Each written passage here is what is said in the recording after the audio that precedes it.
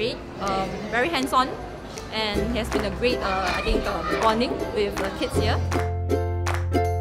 To help to enliven the place, help to create something which um, you normally would not do in your day-to-day -day life, you know, and the social interaction is the best part of it all.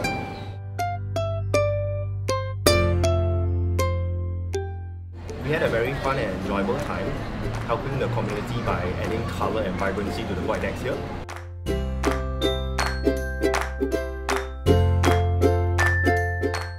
Uh, it's great. It speaks to our whole focus on social enterprises.